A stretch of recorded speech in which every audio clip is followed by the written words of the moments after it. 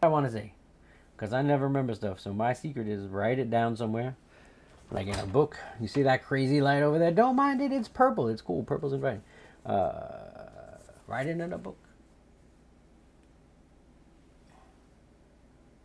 I don't know how to use 3D space, 4D space, 5D space. You're gonna have to learn, and to learn, that's what this is about. There's more to come.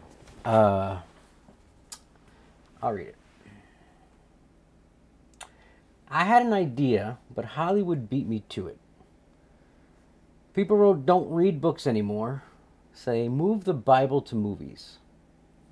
Watch Tenet, comment below.